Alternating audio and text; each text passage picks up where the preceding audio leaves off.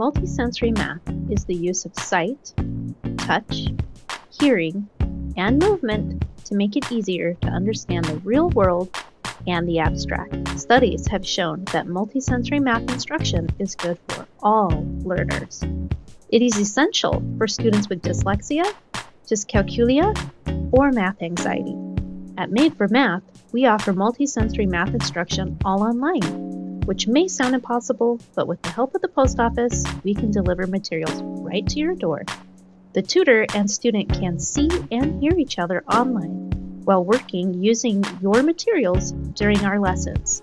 You'll see us working from concrete, think things that you can touch, to the representational, think things that you can draw, to the abstract, think of using just numbers.